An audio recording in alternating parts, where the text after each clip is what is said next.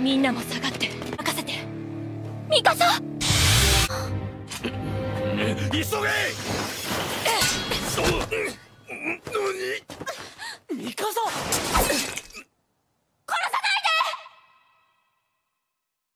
そう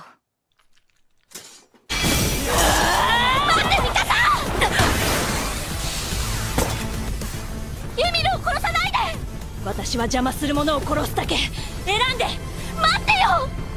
ユミルだってライダーたちに従わないと殺されるの！選択肢なんてないんだって！私に情けを求めるのは間違っている。必ずクリスタあなたはエレンとユミル。どっちあなたも邪魔をするの！やめてユミル！抵抗しないで！無事ずにこのままみんなで仲良く潰れるか焼け死ぬのを待つの？女王になったらあのチビを殴ってやればいい。やる。ありゃミカサの冗談だって。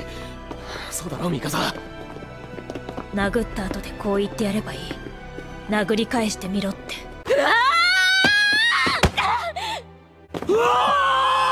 かおかえり。あれ？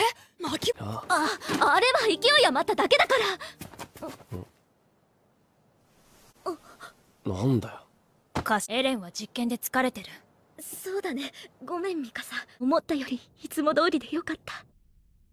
ねえ。その印なんでエレンだけに見せたの？え？